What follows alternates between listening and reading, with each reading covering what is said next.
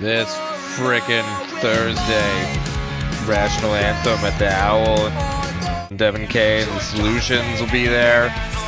Look at that. There's a video of them. They have a new single out. And then Singing Lungs. There they are. They're going to be playing too. They have a new EP called Mutter out now. So you better go fucking listen to it and then go to the show at the Owl on the 14th. It's Thursday. Go. Or I'm not going to have a family anymore, please. Oh my God.